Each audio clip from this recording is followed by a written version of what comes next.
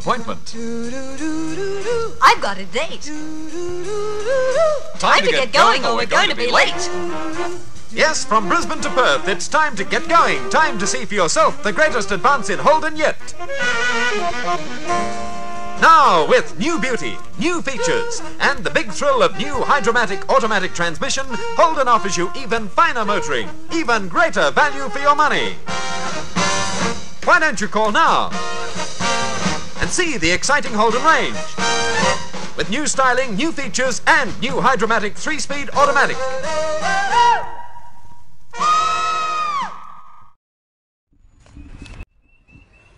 Hello again, Liam from Unique Cars and Parts, and I'm with Stuart, a colleague of mine who happens to own an EK Holden, a 138 1962 model, and he's built a special one here for your son. Yep, four years four years old, and that's his little pride and joy. So you take this car to shows, you were telling me, and you and you, your son sits in that.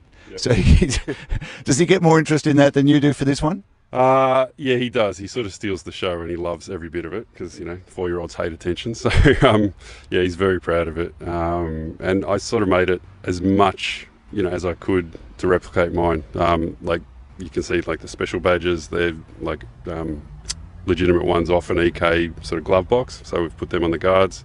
Um, I've got same little custom number plate as mine.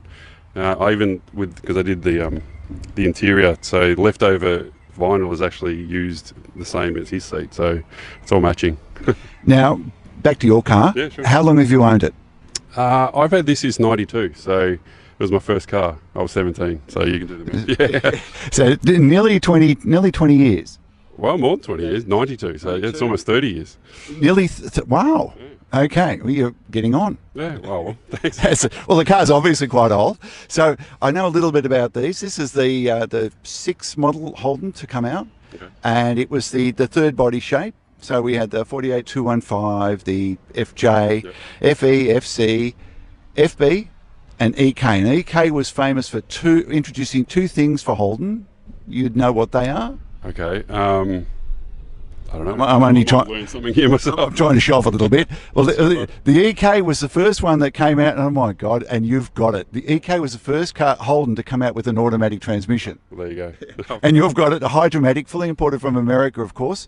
And so this car's actually got one. It's not the obviously still come with the three on the tree as well, but that is great. You've got the you've got the genuine Hydromatic transmission. The other one, well, the, the other big the big the big improvement they made. It, you'd notice it on a rainy day. oh, okay. Windscreen wipers, maybe. Yeah, well, the windscreen wipers were electric, Yeah, yeah. and on the FB and previous models they were vacuum operated, which which was great if you were going downhill, Yeah. or terrible if you were going uphill. It was sort of like started like that. I had an FC Holden, you didn't want to drive it in the wet. Now you've you've owned it for thirty years. We know that it comes with a 138 engine. They, they were stock, and there was only one engine choice. Mm. Yep. That's still got the same engine. It doesn't. No, it's um, it's got a 202 in it with a Trimatic. So Okay. Oh, so I'm his, I'm thinking that I'm looking at a Hydromatic, but it's, it's the original shifter, Yeah. but just with a Trimatic. Yeah, correct. Yeah. What, what happened to the original ones? Um, to be honest with you, they probably went to the tip. so, well, look, the red motor was, uh, oh, people will get ro- rip right into me, but the red motor was a little bit easier to work on than the grey. Yeah, it was just. Oh well, look, I did it when you know I was a kid, and you wanted sort of a bit more power and everything. And to be honest with you, it's probably safer that you're not sort of um, you know lagging behind traffic these days. So, and it's Yeah. got the um, the HR disc brake front end in as well. Ah, so there you put the HR discs in. That That's a good thing. And you put mags, but you're telling me you've got the original wheels as well. I do, I do have the original wheels, and I sort of alternate depending on you know what I feel like at the time. But yeah. And now this is not a daily driver. Is, this is special occasions.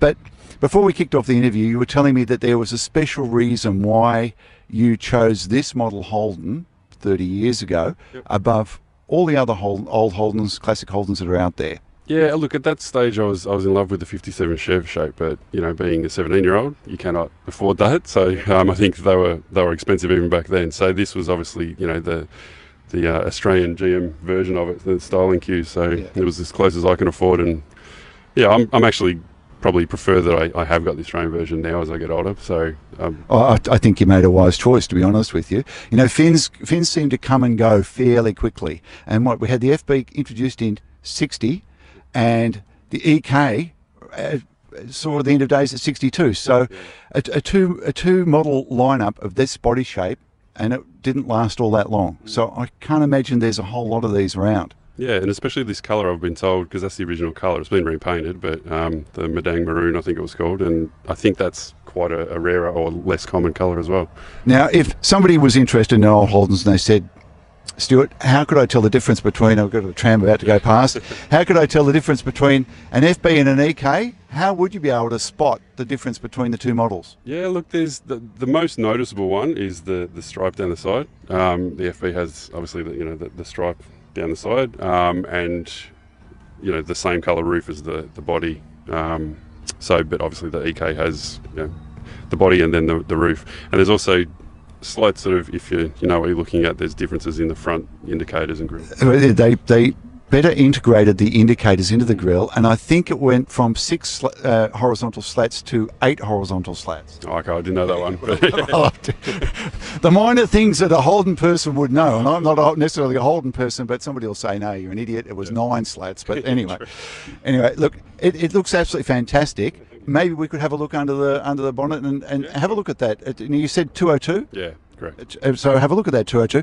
The running gear is orig- the original EK, except for the front the front end that you've changed for the HR. Yep, correct. And and that's that means that you get to drive this into work every now and then. I do. Yeah, absolutely. Um, I I actually do drive it most days, but only short drives to sort of drop off my son at childcare. So he loves it because um, originally when he came along, I didn't have you know the um, the, the sort of child seat in the back, and you know he was sort of so into it. I thought, well, why, you know, this is here to enjoy. I'm not going to sort of, um, you know, protect it too much from him. And so now we enjoy it, and it's great.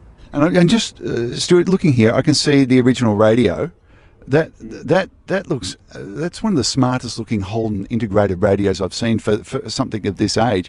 Typically, they've got the cutout there with the and, and they've put an aftermarket thing in, but you've managed to to get the original? Well, it is it's an AWA one, but it is made specifically for an FBEK. So it, it's not like I guess the Nasco, um, you know, um, the specific one that came out from Holden, but at the time it was specifically made for this yeah. this car. Yeah.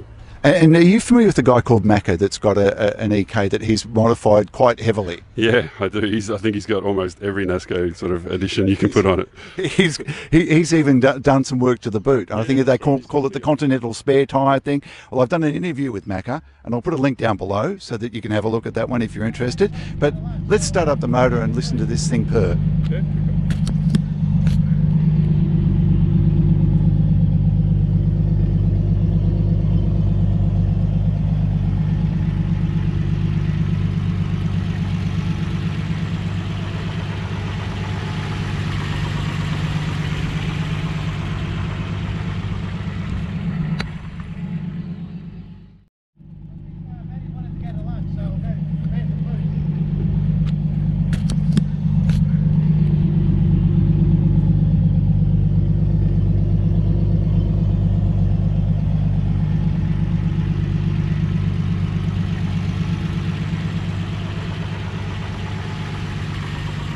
And as I was setting up to do the interview with Stuart and his fantastic looking EK, another colleague of mine, David, who happens to work at the zoo as well, came over to see what all the hoopla was about. And you came over and said, you owned an EK too. That's right, yeah, Liam, and exactly the same story as um, Stuart. So um, first car as well when I was 18 was an EK, um, and again loved the uh, 57 Chev. That that was the dream car, still is, a matter of fact. Um, but this was the next best thing, and this was the one I could afford back in the time. And uh, yeah, it's same story. Like had the original grey motor, um, uh, the, uh, the 138 Hydra-Matic, yeah, Hydra-Matic transmission. So it's fully stock. Um, originally owned by uh, Mantello Holden out in Fawkner. Um, so it was very original stock car. Um, but yeah, so the grey motor finally died on me and um, did this, went down the same track, um, put the 202 and Trimatic transmission, you know, disc brakes and all that. Um, so yeah, brilliant, brilliant uh, everyday drive actually back then. And we got we got the choppers over here, but we'll push on. How long's it been since you had your EK? Uh, so, well, gee, what that, that's going back um, more than 30 years now. Um, you know, getting onto the About the same time that Stuart was buying his. Probably buying his, I was selling mine. Yeah, yeah, yeah. But um, I did, look, as, as part of my research, I looked up what happened back in 1961. Well, this is a 62 model. Back in 61, this is first launch. You know, Sophia Loren won an Academy Award and Chico Marx died. And I don't know why that's relevant at all, but I just thought I'd throw that in there to show that I did try and do a little bit of research. yeah, always good to know what was happening at the time. Yeah. I was born that year too. All right, there you go. So it shows my age. Good year, good year. Now, you, you as you were going over with Stuart, you noticed a few things had been changed. Uh, the obvious thing is the well, the, the obvious thing is the engine, but but you found a couple of other little things that he's modified to make it, I guess, more of a drivable car today. Yeah, absolutely. Pro- the big one that I noticed was the um, accelerator pedal because um, the you know EK fans out there will know um, that the accelerator pedal was originally mounted on the floor. Um, and it had a basically an arm mechanism. It wasn't driven by a, a cable, um, which worked fine for the original 138. Um, but once I modified it, uh, it, it just didn't work that well, and it would it would stick, and it was a, a bad driving experience. Um, so yeah, so um, Stuart's setup I think would be much more drivable. Yeah. Uh, now, Dave, obviously you've got a lot of passion for the EK, but you don't have yours anymore. No, unfortunately Wh- wh- not. wh- Why did you get rid of it? Um, oh, look, it was just, just the times as it was. You know, I was, I was still a young kid, you know, in comparison. Um, I, I really couldn't afford to have two cars at the time because, you know, it just wasn't the, the ideal car to really be a daily driver. Um, so I had to make the, yeah, really difficult decision to let it go and, you know, regret it to this day, especially when I see another one. It just, it just brings it all back again. One as sharp as this one. This one presents really, really well. Yeah, no, mine was was pretty neat. Um, you know, I had the uh, original uh, paint color as well on mine with the white roof. It was Persian lilac, actually, was the color of mine. It's That, that's the purpley pink. very light purple color, not the um, not the very common coral. You see heaps of them in that that pink coral color, um, but this was quite a unique um, color as well. But it was a standard one, I found out. Um, so yeah, very nice looking car. Just kept it very stock on the outside. Had white wall tires on it, and all that. You didn't really know that it was modified uh, unless you took a look under a bonnet or got behind the wheel. Of course, then you then you felt the difference. And and you fitted a 202 as well? Correct, yeah, 202, um, slightly modified. Um, I put a quarter race cam in there, uh, 350 Holley carb, um, had the extractors on there. Th- These had a, a Bendix um, carburetor as stock, but but we're not looking at the original motor anyway, so I guess it's a mute point at this stage. Yeah, that's it. So um, I thought I wasn't too worried about what happened under the hood because it didn't affect the, the, the look of the car. Um, Well, it made it more drivable. Exactly, and uh, so the drivetrain was fully updated. You know, um, again with disc brake front end, um, and I had an eight-inch diff on the back, so much more drivable car. Uh, Stuart, you, did you change the diff on this one? diff center. So it's, it's got a, a three three point oh eight diff center, so you get a better um, sort of Uh, it's got a 3.08 diff centre. Yep. So, so it gets a, a better driving experience. Well, look, what I'm going to ask you to do, Dave, is sit sit in the back with my GoPro and take do a bit of filming. And I'm going to ask Stuart if he wouldn't mind just taking us for a quick ride around the block, as I'd love to go for a ride in it. And I think uh, the viewers might like to watch this thing uh, take on the bitumen. Yeah, sounds brilliant. Okay. Thank you, boys. Well, Stuart, it's been a long time since I've uh, been in a car with a manual choke. Absolutely, yeah. Don't get them these days. So, you know, and, and that's obviously connected to the 202, so you still got to use it in the mornings. Yeah, yeah, on the colder mornings, yeah, but it's not too bad actually. And these heater controls, were they a standard fixture back in the back in the day, or is this some sort of an option? I believe they were standard, but the actual um, the heater beneath was an option, so you could have the blow through as I think standard, but yeah. So, so where, where, if I was to say I want a bit, bit of air on me, which I probably do want because it's not, not that not that cold today, uh, if I push that, is that push it up and it would work? That's correct, yeah, and that just sort of opens the air vents at the front and sort of blows through. And where does it where does the air come through the through the bottom here? Does it? Yeah, it comes through the bottom, but it's sort of changed. Um, well, there's vents on the top as well, so it blows through and, and um, I guess gives Oh, that- yes. yeah up onto the windscreen, but you know, not very effective as a demister, I tell you. no. And you've got a rear demister on the back. Yeah, yeah, put that one in. Um, just again, out of sort of safety and necessity, and sort of frustration after a few years not having it. So And oh, I'm assuming here everything everything's working. Your generator light, your temperature, your temperature warning light, your, your fuel gauge. yeah, it's all connected. Yep, all, all works. And I love the I love the old style speedo. Does Yeah, that great, it? does that go all the way? It just shows you the all the way up. It does, yeah, if you can push it all the way around, yeah. And, and if we were pushing and Stuart, what, what sort of top speed could we hope to get out of this old girl? Oh, I'm not sure. I've never probably, you know, pushed it. I'd say it'd get right round, but um, yeah, maybe I don't know. Maybe we should try one day.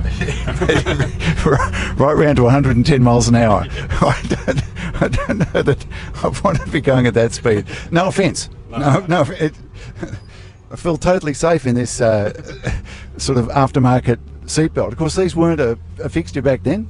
no, no, they were, I think they were an optional, optional extra actually. So And, uh, pro- Yeah, a NASCO optional extra, and they're certainly not retractable. no, I, I even like the way the indicators, you know, they don't put much thought into indicators now, do they? They just, no, just one, one bloody central console thing with all of your instruments in it and, and a light. Uh, now it's yeah. Well, back then it was it was literally well, the way I see it is it, it's you know piece of art and you know really attention to detail and, and everything existed back there.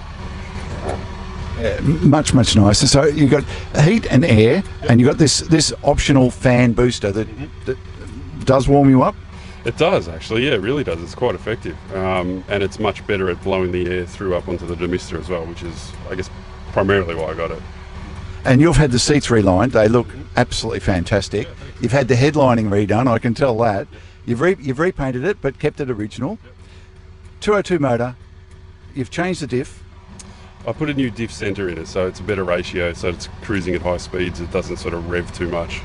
So, Does that does that affect its you know off the mark performance? Um, no, not really, because it's got um, a bit of work done to the motor, and it's a bigger motor than it came out with. Um, it still gets off the mark, you know, very well, so it's fine. Okay, and uh, apart from that, uh, we're- we're- I was going to say all original, but I'm looking at a cluster of three gauges here. They're not original. So what, what, have, what have you put on, and, and do you use them much? Uh, look, I, I watch the, the engine temperature the most, um, but yeah, the others, the oil pressure and, um, the vacuum, you know, manifold vacuum, I don't really watch that much. But definitely, definitely keep an eye on the, you know the, the water temp. We're going up Royal Parade now. This is an opportunity for us to wind it out to 100.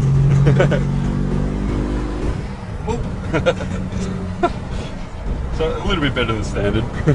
Oh, I, I, I just love that speedo. It looks absolutely fantastic, doesn't it? yeah, and my son loves the the line here. He always points at it. Uh, look, the, the the horn hub of Holden's, early Holden's, are, just again a work of beauty, aren't they? They're artful. They wanted the, to present the car in its best light, and I guess back in the day when you'd sit in the car, you'd be, this is what you'd be presented with: no sat navs or super uh, hi-fi systems to distract you. It, Just just pure, you know, driving enjoyment. and what better way to do it than in a Holden? What a shame they're not with us anymore. Know, very sad, but I guess it makes it more. Um, may- maybe it, it sort of hiked the value in the one, in people who have still got them. So Now, I noticed on the front you don't have club plates on there, so that's because you drive it daily, don't you? Or almost daily, weekly. Yeah, most days I, I um I decided to yeah start driving my son around and there's a, a kid seat in the back because he absolutely loves it. So I thought, well, you know, what better way to, to sort of instill the love of Holdens and, and enjoy it with him. So yeah, I, I drop him off at Kinder most days, which is great. And so that necessitates that you keep it on standard registration. It does, but I, despite that, I was always adamant because it is the original registration, so the black and white plate still, and, and that's pretty rare. So for me, you know, I, I, I like to keep the originality of it, and that's just my choice, I guess. But you know, don't have it on club plates, but are you a member of a club? No, I'm not actually. I've many times meant to join the FBEK um, uh, club, but you know, and I'm I'm sort of on and off active on the forum web- website. Um, but yeah, I haven't actually joined the club yet. I've done a few, sort of participated in, in a couple of Anzac Day parades with the club, um, where you take the you know the old guys around um, down St Kilda Road in the Anzac Day march, which is fantastic. Well, this this would be a modern car for them. Well, yeah, that's right. Well, the, you know, and you know, most of them said, "Oh, I used to have one." yeah, They'd be looking down here going, "What do you call that?" Say, "A heater." yeah, true. yeah. Yeah. Well, look, Stuart, this has been absolutely fantastic. I've really enjoyed enjoyed myself. Not not only getting to talk to you about it and to Dave about it, but then going for a drive in it. Uh, one of the rare opportunities. Uh, before we go, Yep. does it work? Yeah, absolutely. Yeah. Shall we? Shall we switch it on? You got to wait for a little while. it's, uh, It's an old valve job. Yeah, so, but it'll fire up. Got to be careful with the music. If I put this on YouTube, you see, if it's playing a modern song, that's it. I'll, I'll get a strike. Uh, only plays AM, and That's still enough to get you a strike.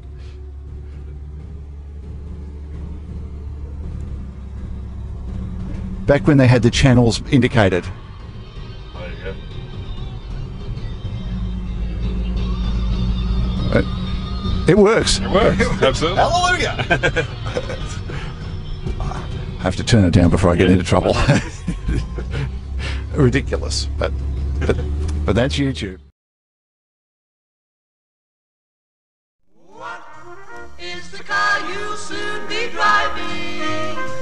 Hydramatic Holden is the one. Yes, Holden with new Hydramatic automatic transmission is the big news for 61. What is the car you'll soon be driving? Hydramatic Holden is the one. Hydramatic is the world famous automatic transmission you'll find on Cadillac, Pontiac, and Oldsmobile. Holden's three speed automatic gear changing is smooth and positive. It's the most automatic automatic of them all. Hydramatic Holden. Yes, it's the one. Over 48% of all new cars sold in Australia during the first seven months of this year were Holdens. Holden has advanced styling, advanced value, advanced economy. Advance your motoring with Holden, Australia's leading car. See and test drive Holden at Urquhart and Nicholson Motors. Phone Cooma 157.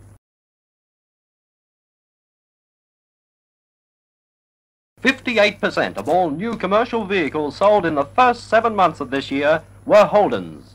That's because Holden Utility and Holden Panel Van are worth more in dependability, economy, and proven capacity for hard work. Buy Holden Utility or Holden Panel Van, the sales leaders at Urquhart and Nicholson's. Phone Cooma 157. Holden Station Sedan gives you true sedan luxury. Six passenger comfort, plus all the space you need for bulky loads, for camping, picnics, for family fun. Test drive Holden Station Sedan at Urquhart and Nicholson Motors. Phone Cooma 157. Be a modern motorist. Set the pace in new Holden Sedan. New beauty, new value, new hydramatic transmission, the most automatic automatic of them all. Holden Sedan is the most modern and reliable car on Australian roads. Test drive Holden Sedan at Urquhart and Nicholson's. Phone Cooma 157.